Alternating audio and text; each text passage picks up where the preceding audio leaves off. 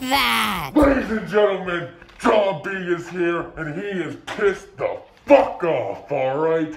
First off, Charles, I'm fucking done with you. Ape shit, fuck you. Both you have to come to my house and kick my ass. Oh, for the third and a half time, that is bullshit. My face went in ape shit's ass twice. And it was stinky, alright? So, I'm getting a little bit fed up. This is the second time I had to make a rant on you, Charles.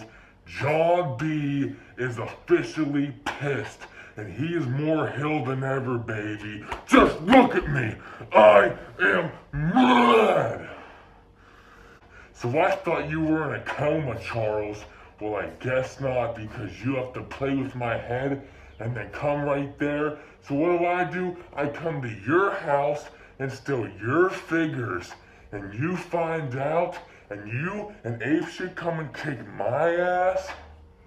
Fuck you guys, alright? And then you decide to go on my YouTube channel and upload a day in the life of Charles, copying off a day in the life of John B.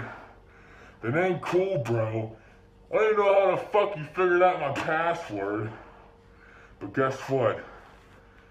I am challenging you, Charles, to a sixth match for the John's Toy Show and my hardcore title that you have. My hardcore title.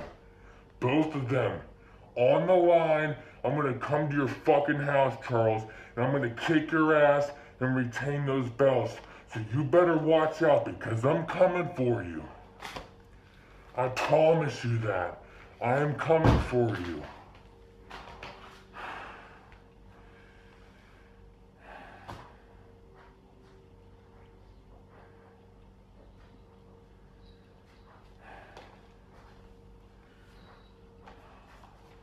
Take that.